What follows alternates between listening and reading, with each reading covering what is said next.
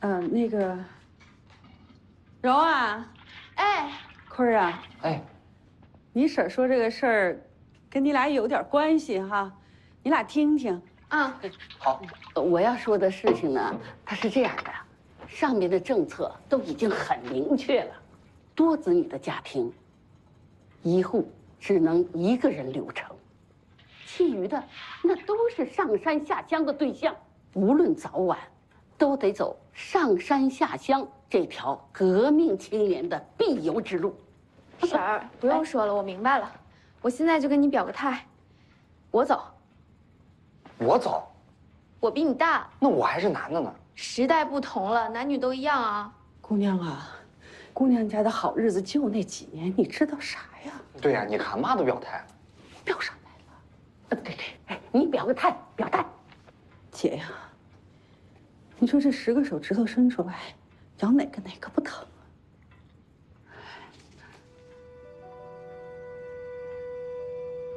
啊？那我说说我的意见。嗯，炳坤去，小子安全些。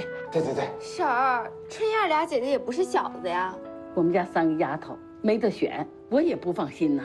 没办法，要是赖在城里啊也行，人家不给安排工作，年纪轻轻的就在城里这么闲着，那不就成了废人了吗？哎，对对对，婶儿说对了，妈，那那咱就这么定了，好吧？婶儿，春燕俩姐姐您也不放心，不还是让他们走了？要是把你跟我那俩丫头搁到一块堆儿，我对我家两个姑娘我倒是放心，对周荣我不放心。你呀，太招人儿，太漂亮了。就咱这光字片儿，你说哪个小年轻的那心里哪个不惦记着他？所以呀，我离开光字片不正好吗？哎呦，我的个傻姑娘啊！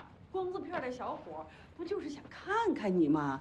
这看就看呗，看能少一块肉啊！你要是一个人在外头，对，你指不定出什么事儿呢。你闭嘴！婶儿，妈，我建议啊，周荣留下，炳坤走。哥，虽然呢，炳坤是咱们家最小的，但是初中毕业了，也够上山下乡的条件。我相信别人行，他也行。对，你怎么就知道我不行？还需要我把婶刚才的话重复一遍吗？妈，